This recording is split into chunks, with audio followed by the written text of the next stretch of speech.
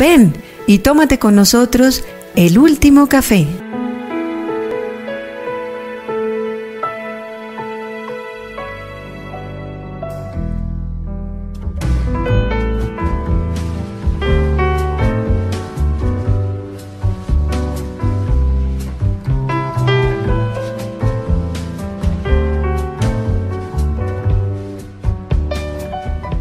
Amigos oyentes de Uniminuto Radio, bienvenidos al último café. Continuando este tema del proyecto IACA, eh, que se hace en cuatro países de América Latina, nos vamos a dirigir hoy al Ecuador, esa joya de la corona, ese país pequeñito, pero que resume la bondad de la naturaleza que tiene la cordillera de los Andes. Ecuador es rico en todo, realmente es rico en todo es más, es, uno de los países de América Latina que más volcanes tiene, en muchos de ellos activos, pero también es un país que es atravesado por la cordillera de los Andes. En un extremo, en, un lado, eh, pues queda el, el, Océano Pacífico, lo cual le da una riqueza impresionante, no solamente piscícola, sino ambiental. Y en el otro lado, pues tiene la selva amazónica, entonces hace que este país sea realmente absolutamente sensacional. Es un país de una riqueza majestuosa, eh, con gente muy amable y con mucha tradición. Y Ecuador es de los pocos países que le ha dado por constitución, le ha dado derechos a, la naturaleza. Allí se reconoce a la Pachamama realmente mm, con mucha profundidad, con mucha seriedad y, bueno, y los ecuatorianos han entendido que la riqueza de su país es tener un ambiente realmente bueno, sano, que puedan enfrentar el cambio climático, porque para ellos, como para nosotros eh, aquí en Colombia, pues nos va a pegar durísimo, eh, precisamente por eso, porque somos países con un clima mm, relativamente estable, donde solamente tenemos es eh, cambio de intensidades de lluvias, pero en líneas generales son países que, pues, que no tienen estaciones y entonces la vida mm, prospera muy bien aquí, precisamente por esa tranquilidad ambiental. Pero dadas las actuales circunstancias de la crisis climática, eh, pues nos va, nos va a atropellar y nos va a atropellar muchísimo. Hay que reconsiderar que nuestros países y la historia en general de nuestra civilización, del Homo sapiens, pues se da por el tema de la energía. Y la energía es fundamental. Si usted está escuchando este programa, lo está haciendo gracias a que hay algún aparato conectado a una fuente de energía. Puede ser su celular, bueno, tiene una batería de litio que la tuvo que haber cargado a, través de un sistema eléctrico. Eh, si está en su computador, pues igual está conectado a, la línea eléctrica de, su país, de su ciudad, de su casa. En fin, la energía es lo que ha permitido que realmente eh, tengamos la sociedad que hoy tenemos. Ahora bien, eso ha tenido una cantidad de implicaciones muy serias y por eso estamos hablando del antropoceno. Esta época que nuestra civilización ha construido y que ha puesto en juego el planeta. Todos sabemos que este planeta es un ser vivo, cambiante, es un, es un planeta que no queda quieto, que es mutable, eh, que ya ha tenido cuatro destrucciones masivas. Estamos, ya está actualmente en el antropoceno, que pues es un proceso humano más que de la naturaleza, pero que pone en jaque nuestra permanencia sobre esta mm, hermosísima, hermosísima pelotita azul en ese universo gigantesco. Para conversar de, de lo que está haciendo IAC en Ecuador, pues nos vamos a conectar con el ingeniero oh, Diego Quispe, él es ingeniero agrícola, pues ha tenido una experiencia académica muy interesante. Tiene una maestría en manejo y gestión de cuencas hídricas en el Centro Agronómico Tropical de Investigación y Enseñanza CATIE. Además de eso, pues tiene una maestría en gerencia de proyectos energéticos mineros de la Universidad Central del Ecuador. Y en fin, es una persona que tiene mucha experiencia en el tema de agua, en el tema de cuencas hídricas. Diego, bienvenido. Es un placer para mí dirigirme a ustedes y compartirles un poco de la experiencia que estamos desarrollando en el proyecto AICA en Ecuador. Yo le estaba contando a, nuestros oyentes de las maravillas que es el Ecuador, pero qué mejor escucharlo desde la voz de, un ecuatoriano, de Diego Quispe, hablando de su país. Cuéntenos un poquito de, cómo es el Ecuador. Eh, es hermoso, una, en, pocas palabras tenemos varios ecosistemas en, corto tiempo y en espacios muy reducidos. En el caso del proyecto AI, que es una experiencia eh, muy gratificante, intervenimos en dos zonas, que siendo un país pequeño, las dos zonas difieren en, en sus condiciones climáticas. Estamos en una zona en la estribación de la cordillera andina, en donde hay un superávit, hay una abundancia de agua, es de las zonas más lluviosas del Ecuador. Y del otro lado estamos en, la zona sur, donde la cordillera comienza a perder altura, un ecosistema diferente, con sus características propias. Sin embargo, la estacionalidad de, la lluvia también es muy marcada y se han generado procesos importantes. El nivel de gobernanza ha, tenido que fortalecerse. Sin embargo, en la parte sur, en donde sí existe una estacionalidad marcada, los procesos de gobernanza se han dado de forma espontánea, sin intervención del Estado. Eh, es grato para mí comentarles que hay un comité de conservación de Cuenca que ya este año cumple 22 años de gestión y se han enfocado en el trabajo de, conservación de recursos naturales, darle varios usos al agua y sobre todo la gobernanza. Sí. En resumen, somos un país pequeño, mega diverso y en, en pocas horas podemos pasar de una zona muy húmeda a una zona eh, selvática o a su vez irnos hacia el otro lado, hacia la costa. Entonces, como usted mencionó, Carlos, un paraíso en espacio muy pequeño de territorio, pero y de gente con corazón siempre amable y, dispuestos a ayudar y también a conservar lo que tenemos. Cuando usted habla del sur del país, del Ecuador, y en esa parte de Machala, eh, Aguas Verdes, pues em, realmente el contraste es impresionante. Es decir, tú vienes del desierto, eh, de Sechura, que, es la parte norte del Perú, por la carretera panamericana, y apenas tú cruzas la frontera te encuentras con un verde impresionante, una gran cantidad de cultivos de, plátano y cosas de esas, y, uno dice, qué contraste tan inmenso. Claro, para nosotros los colombianos, al igual que ustedes, el mundo verde es lo natural, nosotros vivimos en mundos verdes, pero cuando cambiamos el paisaje y nos encontramos con ese mundo eh, árido del norte del Perú, pues uno dice, hola, no, qué maravilla, esto es espectacular. En la parte sur la cordillera pierde altura y el ecosistema tiene diferentes tintes, ¿no? Zonas verdes, zonas secas, bosques secos, zonas de, recarga hídrica. Actualmente nuestro, nuestra matriz energética se soporta en un 40% de, de la zona sur. Y de ahí la importancia de, comenzar a pilotear, a explorar nuevas alternativas de desarrollo sostenible, el manejo de los recursos, y ese es uno de los eh, enfoques que hay que manejar en los cuatro países. Explorar y ver alternativas de desarrollo sostenible y manejo de los recursos naturales. Todos estamos en, en la idea de que el tema del petróleo mm, tiene que cambiar, la economía mm, se tiene que despetrolizar, pero también se nos olvida que ese cambio implica condiciones nuevas para todos, absolutamente para todos. Pero también tenemos que cambiar otras formas de energía, que son, por ejemplo, las hidroeléctricas, que es su tema, y el tema de IACA allá en Ecuador. Y tenemos que buscar nuevas energías. En el caso del Ecuador, pues ustedes tienen energía eólica y energía solar en procesos de crecimiento. Porque la energía hidráulica, la que se genera a través de las cascadas de agua en todo el mundo, empieza a ser reconsiderada por muchísimas razones. Europa está desmontando algunas. Nosotros aquí en Colombia pues tenemos el caso de Tuango que ha puesto en juego muchas ideas frente a, a este tipo de hidroeléctricas. Pero claro, ya están.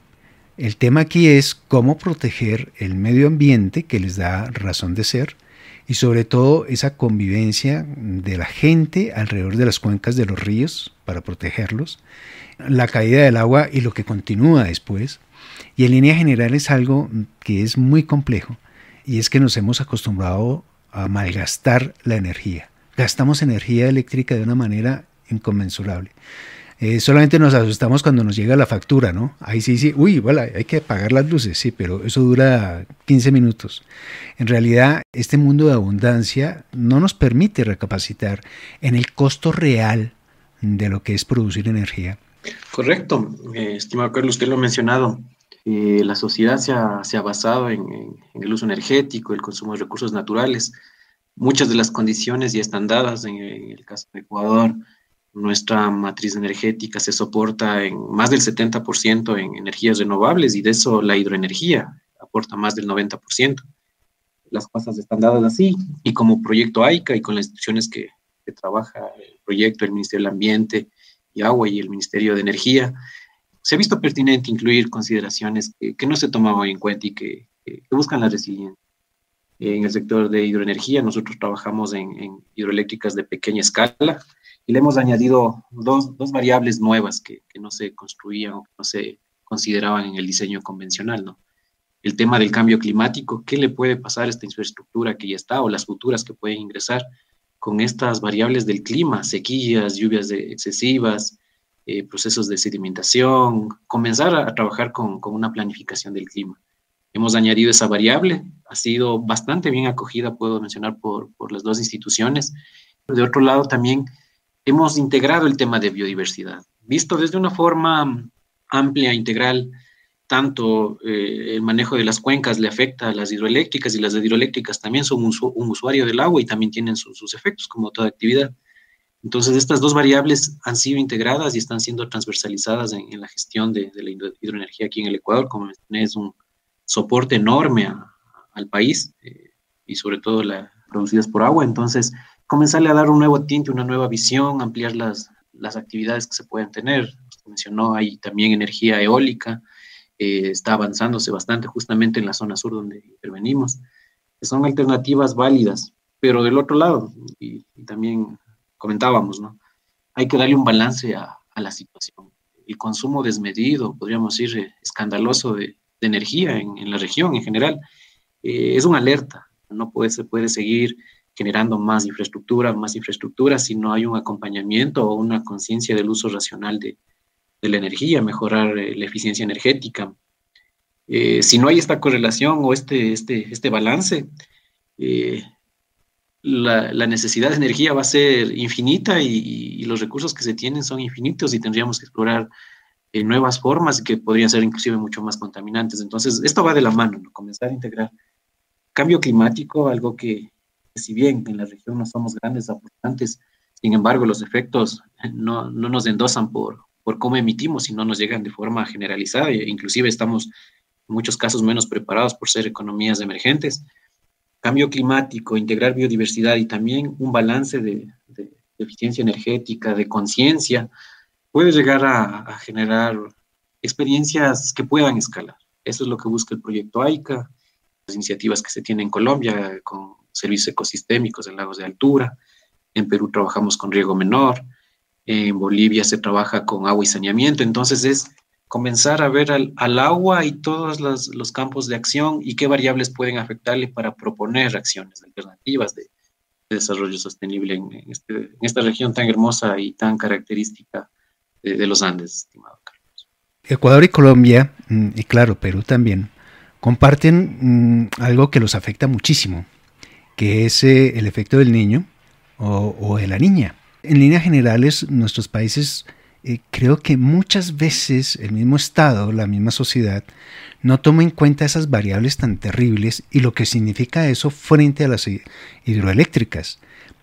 Cuando hay demasiada agua, la infraestructura se, expone a riesgos muy altos porque la misma cantidad de agua la puede sobrepasar. ¿En qué sentido?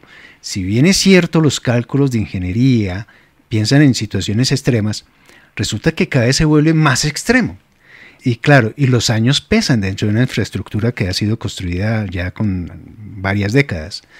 Esa cantidad de agua es un problema. Y la falta de agua también, porque la falta de agua pues pone a, trabajar difícilmente las hidroeléctricas para poder satisfacer las necesidades del consumo de la población, más el daño a los cauces de los ríos, tanto por exceso como por defecto.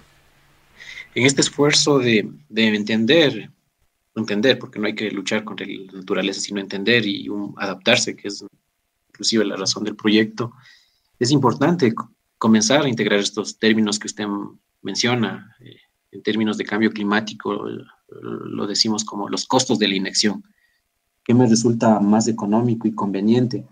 Reaccionar a un evento casi catastrófico, que es lo que está ocasionando el cambio climático, que es eh, absolutamente generado por actividades humanas, o prever prever qué costos me podría implicar el no, no, no analizar o entender qué ha pasado con, el clima o qué podría pasar.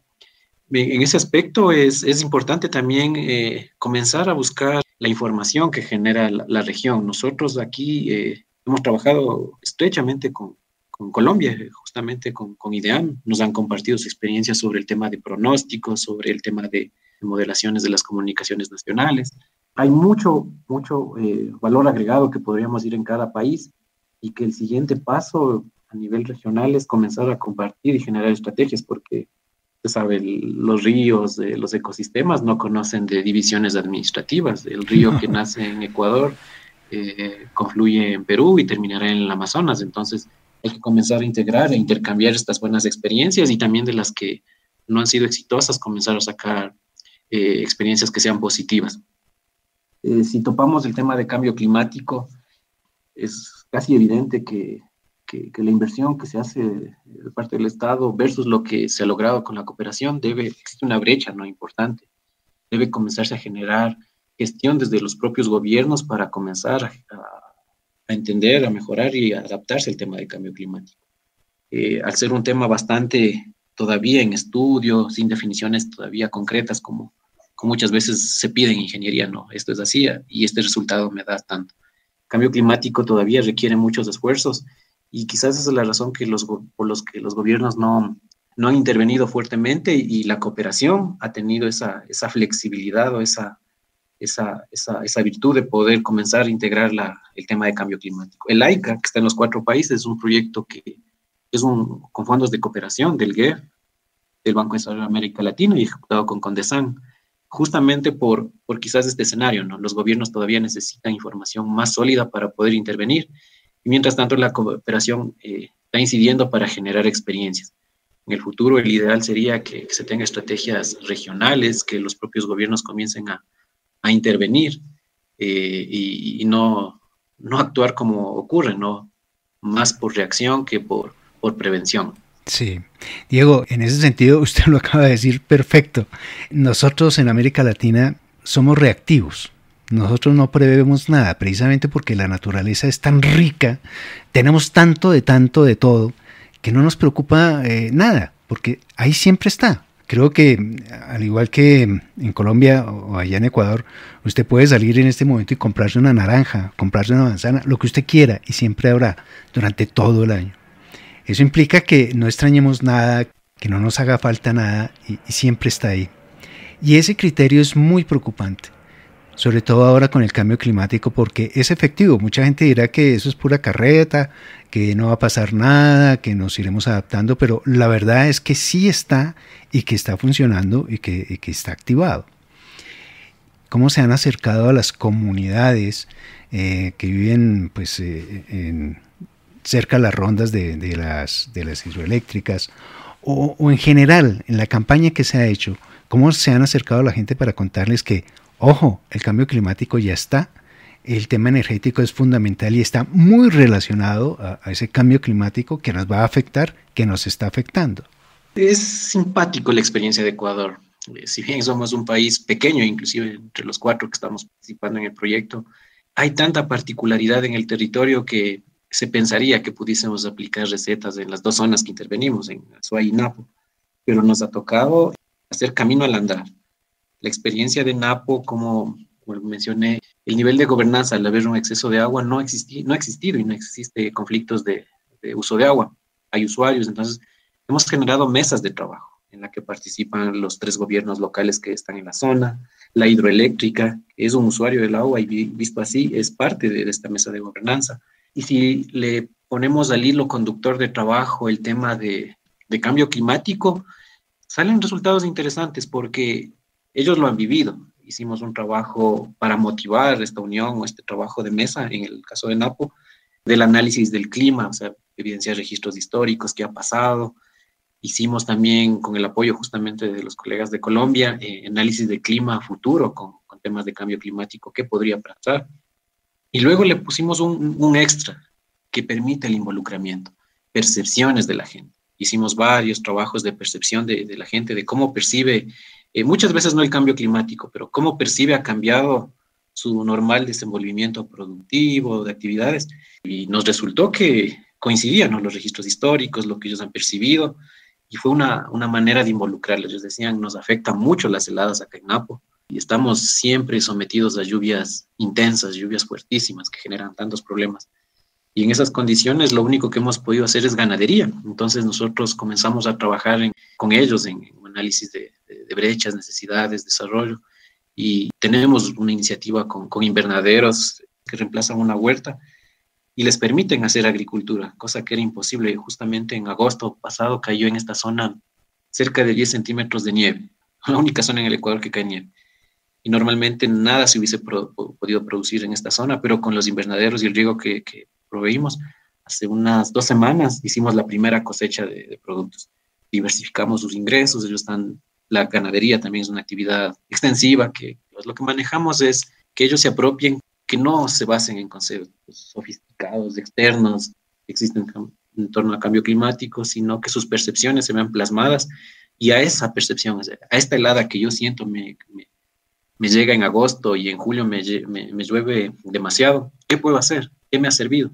Y vamos trabajando sobre, sobre esa base. ¿no? Son dos caras de la moneda, ¿no? En un territorio tan pequeño que estamos distanciados a cuatro o cinco horas, en el caso de Azuay, existe un nivel de gobernanza muy fuerte, muy fuerte. Es la única experiencia en Ecuador con, con un comité tan sólido. Eh, sin embargo, todos dependen de un mismo recurso. Entonces, ahí la bondad de trabajar es que todo debe estar en armonía porque si el, el grupo de riego necesita más agua, le va a afectar al grupo de hidroenergía. O si el usuario de agua potable, la empresa de agua potable, requiere más servicio de agua, de agua, va a afectarles a los demás.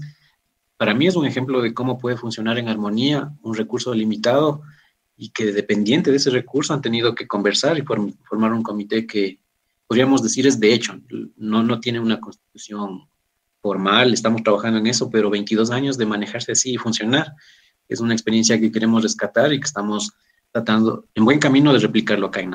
Y Diego, eh, esta visión última que nos muestra usted debería ser lo ideal, ¿no?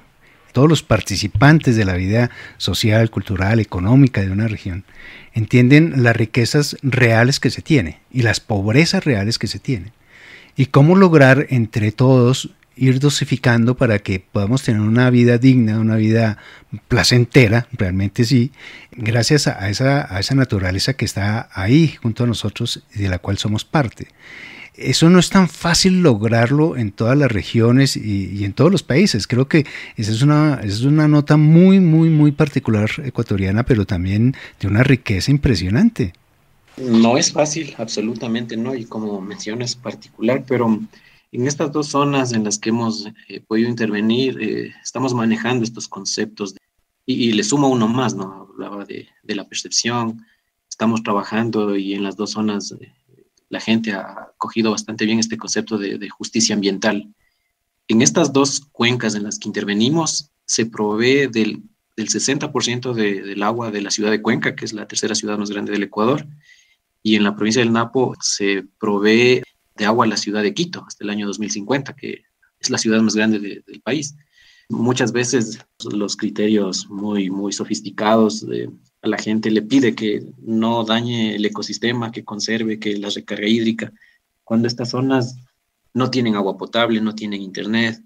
En electrificación están bastante bien, pero muchas de las cosas que, que cuidan no, no son usuarios o no tienen eso. Entonces nosotros hemos también identificado los, los, los drivers, es decir, ¿Qué nos permite tener una buena gobernanza? Si ellos cuidan el agua para ciudades grandes y de importancia eh, económica, lo mínimo que podemos hacer es apoyarles con, que ellos también accedan a este servicio tan básico. Hay que Ecuador está ayudando también a, que esta, estos poblados eh, tengan agua potable y con eso exista como un balance, una justicia ambiental. Ese también ha sido un elemento que nos ha permitido destrabar, ¿no? Los proyectos llegan, eh, se, se, tiene varias iniciativas, pero hemos tratado de, de atacar lo medular que, que, ellos necesitan para tener al menos un balance ambiental con lo que los demás exigen, ¿no? que no, no, no, suban la frontera agrícola, que, no topen eh, la fuente hídrica, cuando ellos tienen necesidades también y no han podido desarrollarse. Entonces, nosotros al final del proyecto tendremos también aquí satisfechas las necesidades de agua potable, tecnificado el sistema de producción, son, son zonas bastante complicadas climáticamente, entonces darles herramientas tradicionales, pedirles que a su larga jornada de trabajo que tienen, aumentarle unas dos horas diarias a que se dediquen a actividades agrícolas, inclusive convencionales, no era como una alternativa para adaptarse al cambio hemos tecnificado su riego, hemos dado invernaderos. En la provincia de, de Azuay, inclusive estamos haciendo hidroponía como, como escuelas de campo para que la gente comience a, valorar la, la, agricultura que está bastante abandonada en la ruralidad y con eso dar alternativas. Una de las mejores herramientas para adaptarse al cambio climático justamente es diversificar ingresos, ¿no? Si me dedico a la ganadería 100% y, y llega una helada, posiblemente pierda todo. Pero si tengo ganadería, que es culturalmente lo que he desarrollado, tengo invernaderos, eh, me dedico a la enseñanza o me capacito. En, eh, tengo varias opciones, entonces me vuelvo más resiliente. Eso es lo que, que buscamos. Eh, lastimosamente los recursos son finitos, que bueno, están ancladas instituciones que tienen amplia trayectoria como Condesan, como CAP, que buscarían luego masificarse o comenzar a escalar, pero el pilotaje o el primer paso es importantísimo para el tema de adaptación al cambio climático y en eso estamos trabajando fuertemente en los cuatro países. Diego, usted como ingeniero agrónomo, pues eh, usted trabaja con el campesino. Y creo que la historia de los campesinos en América Latina sigue siendo la misma. Y es que eh, ser campesino es muy difícil. Es un trabajo de 24 horas, una ruleta, porque finalmente te estás jugando tu cultivo sin saber qué pueda pasar. Realmente es muy complejo. Y por eso esa gran migración de, chicos jóvenes a las ciudades, muchas veces en muy malas condiciones, llegan a, a nutrir los cinturones de miseria de las ciudades y muy pocos, muy pocos logran escalar pues eh, niveles académicos que les permita desarrollar otro tipo de vida ese trabajo que hay que hacer en el agro, tecnificando el agro, pero de una manera distinta. No la tecnificación que, se trajo a las Américas en la época de los años 50, de los grandes monocultivos, de agroquímicos, una cantidad de cosas que finalmente hoy, en este siglo XXI, hemos visto que, que no era tan bueno, que no era tan bueno porque finalmente se deterioraron las tierras, se rompió el equilibrio biótico de las tierras porque los monocultivos generan muchos problemas. Y la vida campesina tampoco es que haya pues prosperado de una manera en que se esperaba realmente, ¿no? Creo que este trabajo que ustedes hacen eh, es bien interesante de llevar otro tipo de alternativas, de promover esa resiliencia para poder sobrevivir, pero en el siglo XXI. Concuerdo mucho con lo que usted menciona la revolución verde, estos paquetes tecnológicos de los monocultivos, semillas de alta producción con un uso fuerte de, insumos, terminó siendo en muchos casos contraproducente. Nosotros, y entendiendo el, contexto de nuestros dos territorios donde trabajamos, hemos apostado a esto que, me gusta mucho el tema, y como lo dicen, la dignificación de la agricultura.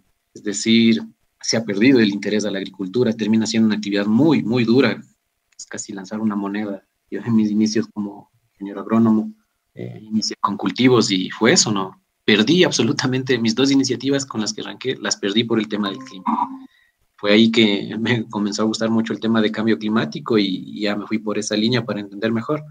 A la gente con la que trabajamos estamos justamente llevándoles este, este concepto, ¿no? De comenzar a trabajar con el clima, cómo hacernos más resilientes y sobre todo la tecnificación eh, vista en términos de, lo que es el siglo XXI, aplicaciones, temporizadores.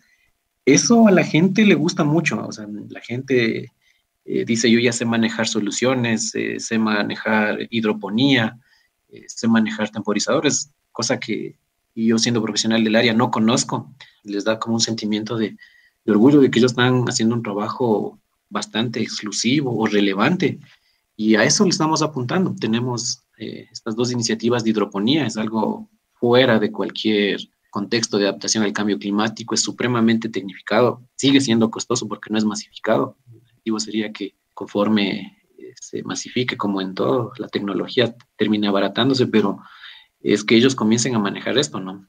Eh, temporizadores, soluciones, tiempos de riego, y en términos prácticos ellos necesitan una hora a la semana para manejar su, pequeña parcela tecnificada versus que una agricultura convencional prácticamente le, esclavizaría, ¿no?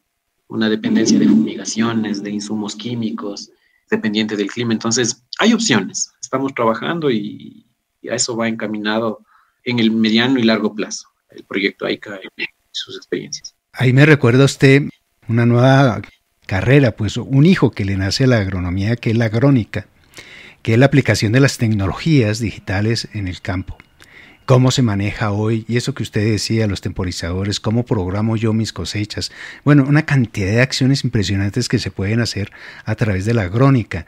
Creo que usted de alguna manera y este proyecto les abrió un poco la puerta a, los campesinos ecuatorianos de estas regiones intervenidas frente a esa posibilidad de incursionar en ese mundo digital, en ese mundo de las aplicaciones, en ese mundo mm, de la agrónica para hacer de la tierra más productiva, pero obviamente obviamente, cuidando el medio ambiente, cuidando eh, la parte del ecosistema que es tan fundamental. Eh, el mérito es de la gente.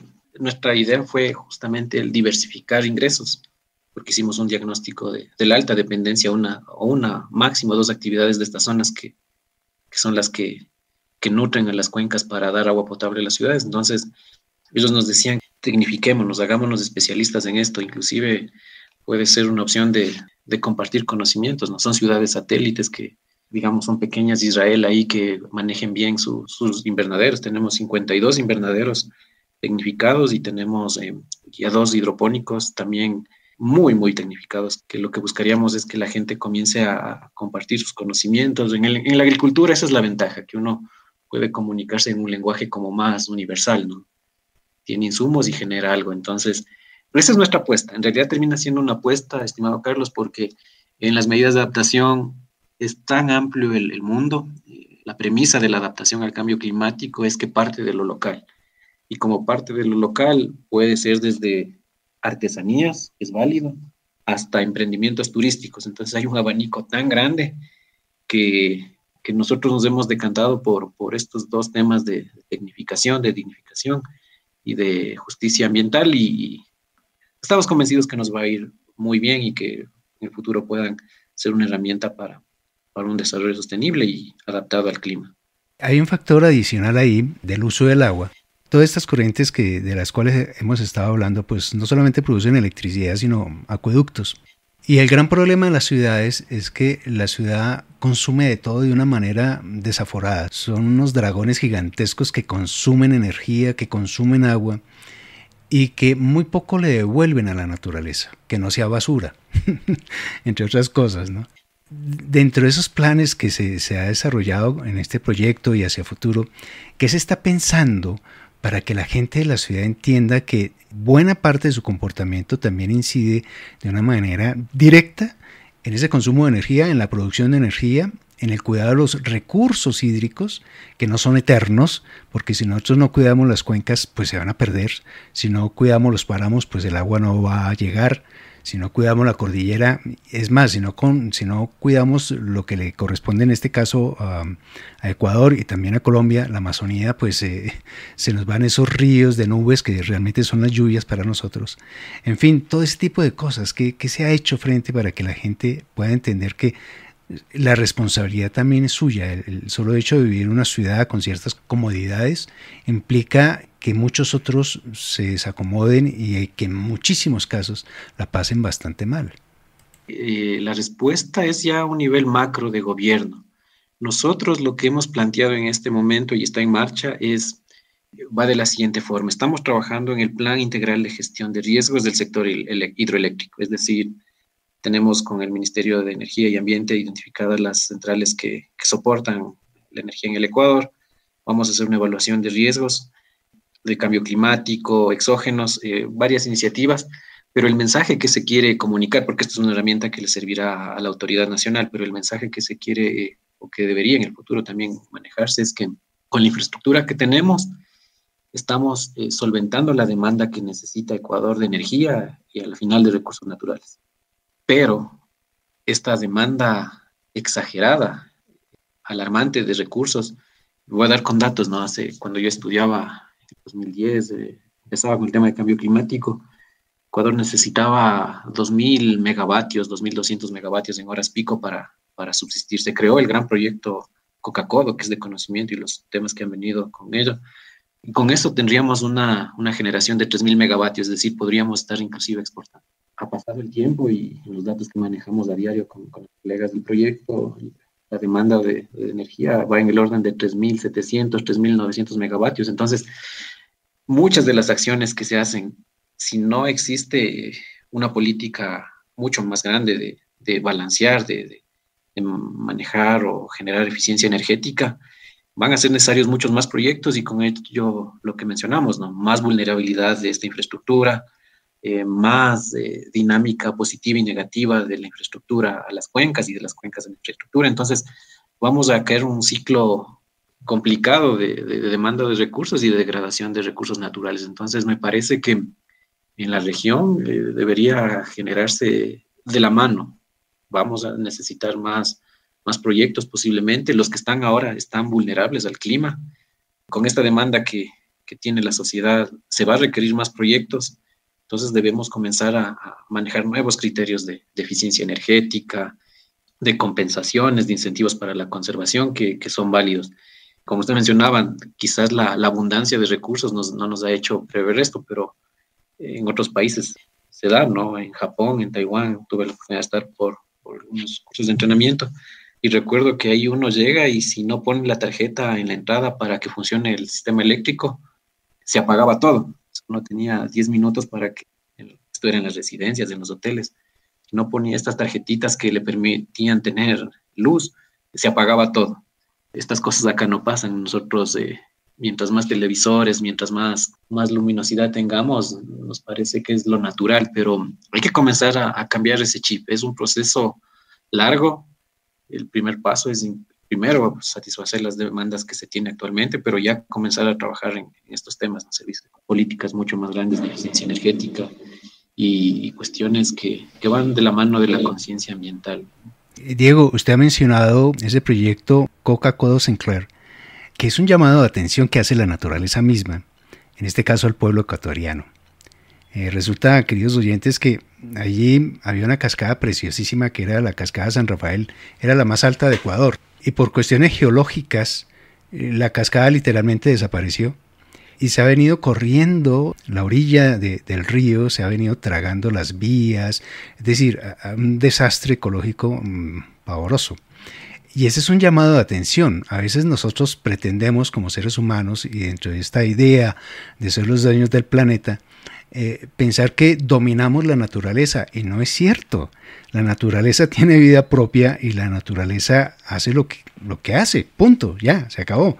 Y quizás es un ejemplo para el resto de países que tenemos el tema de las hidroeléctricas, de ver que no dominamos la naturaleza, que no somos los dueños de la naturaleza y que la naturaleza hace lo que hace porque es ella y punto. Absolutamente, como mencioné, hay que no luchar contra la naturaleza, absolutamente no, hay que entenderla, respetarla sobre todo.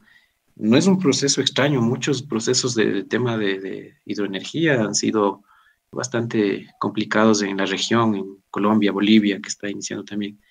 Entonces hay que comenzar a, ver estas, estas situaciones que se han dado, pero del otro lado también a, plantear la solución, porque las instituciones, el Estado, trata de satisfacer la demanda de la sociedad.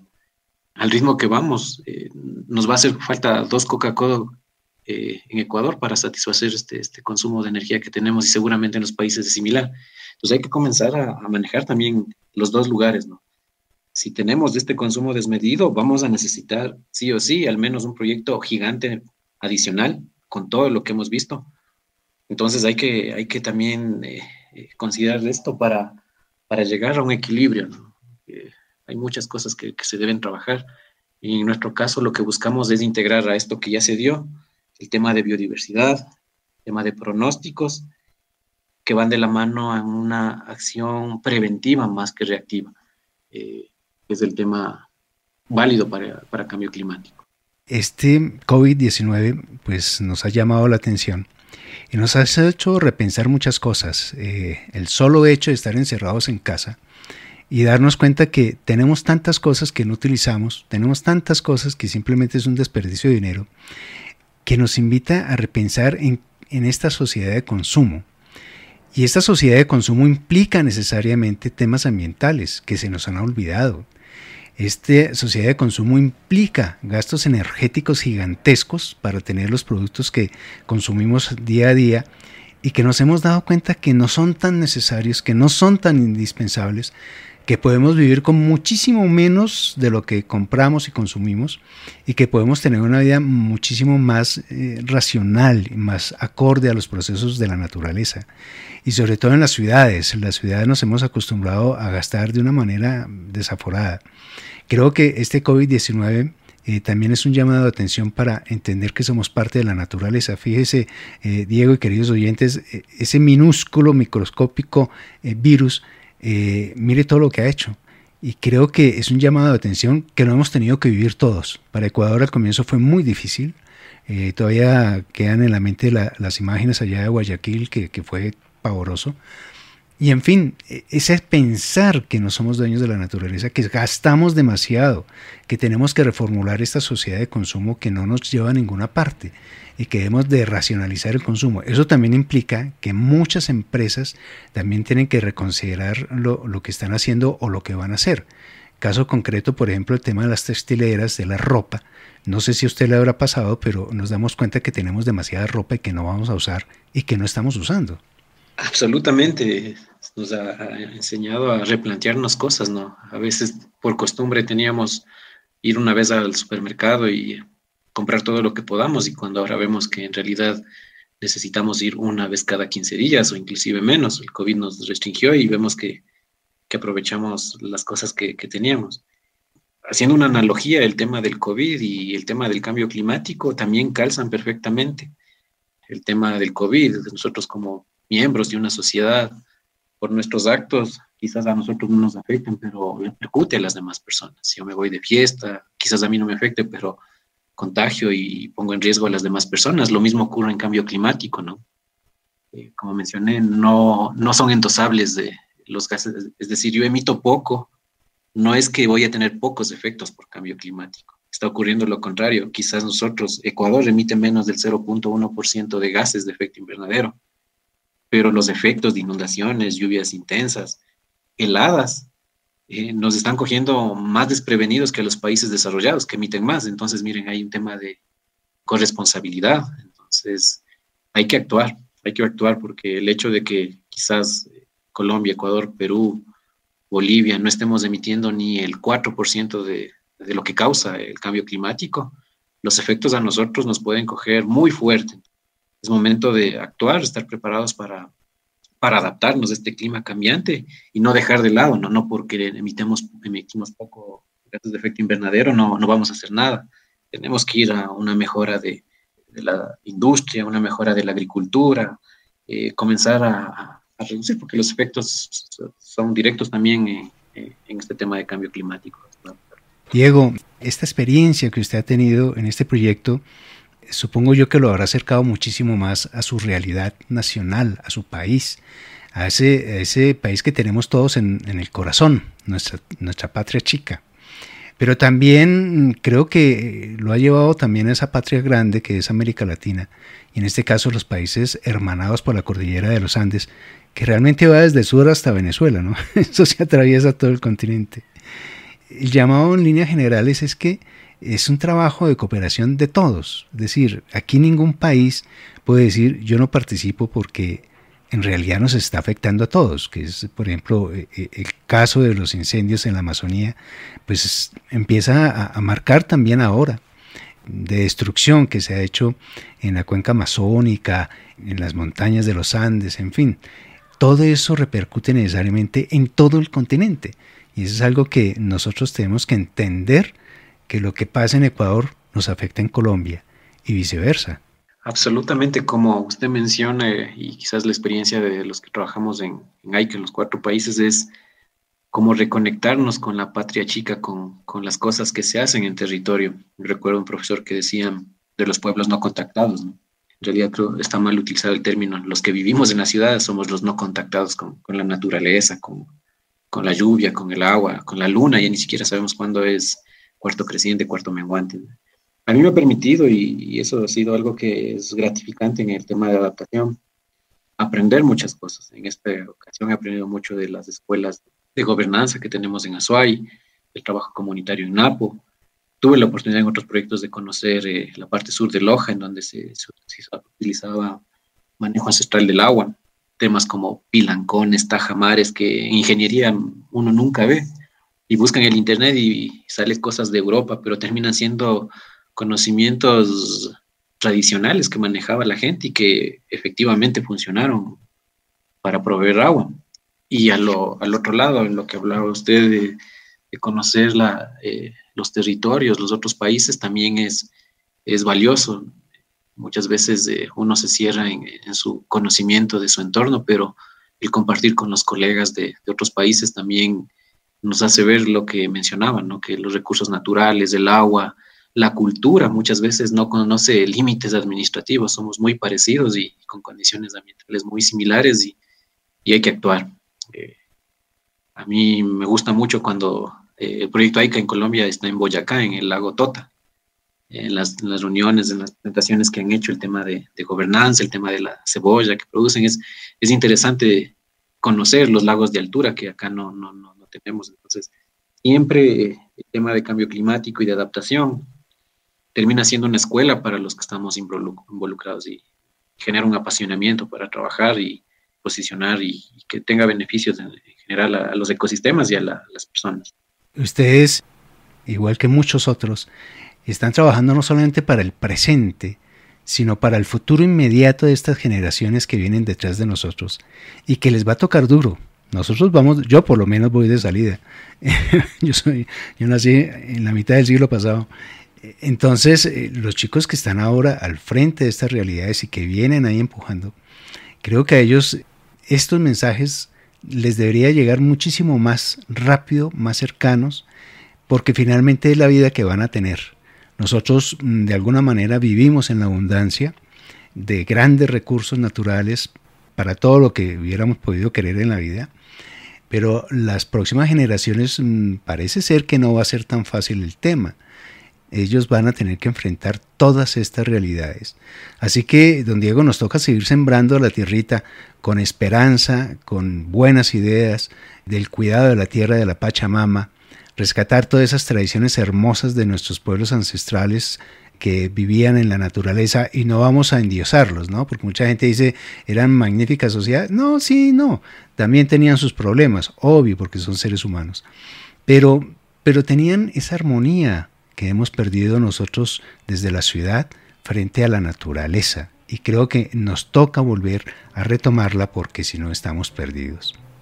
Diego, muchísimas gracias por habernos acompañado a tomarnos este último café. Usted allá en la hermosísima ciudad de Quito, nosotros aquí desde Bogotá.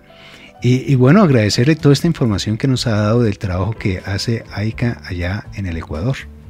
Muchas gracias, estimado Carlos. En realidad, estos espacios son muy gratificantes para poder compartir y sobre todo eh, mostrar lo que se hace en territorio muchas veces a la gente de la ciudad, del trabajo del campo, de las cuencas en donde se proveen servicios, terminan siendo números, pocas personas, comunidades rurales, pero en estos espacios uno puede eh, transmitirles los sentimientos de esas personas. Al final son rostros y, y emociones que, que están trabajando de forma silenciosa para el beneficio de, un conglomerado mucho más grande que está en la ciudad. Y estos espacios ayudan para que de a poquito se forme esta conciencia y como usted menciona, completamente de acuerdo, en los jóvenes eh, eh, está el reto de, insertar de mejor forma y ser más conscientes con, con la naturaleza, con, con, lo que es tan valioso y, y, que ahora en la pandemia nos damos cuenta, ¿no? Poder salir al campo, a caminar, estar encerrados, ahora valoramos mucho más eso, hacer mucha conciencia y sobre todo actuar ante esta estos retos que nos da el clima cambiante, los sistemas de comercio y varios temas que, actualmente en la sociedad priman. Un abrazo, Carlos. Bueno, y a todos ustedes muchísimas gracias por su compañía y les extiendo la invitación para que sigan en sintonía de Uniminuto Radio, la radio universitaria. Será hasta pronto.